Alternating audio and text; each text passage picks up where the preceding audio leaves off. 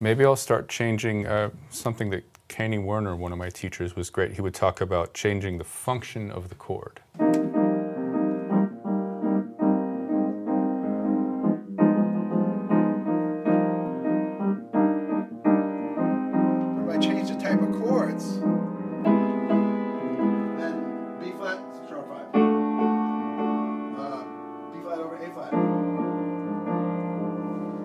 G7 sharp 11. I mean C Aeolian. B flat sus. A flat major. G7. Um, he had it more in a jazz standard context, but maybe in this, I've still got my bass motion. It's still a C chord, a G chord, and a D, but maybe I'm going to change the nature of the chord, the function.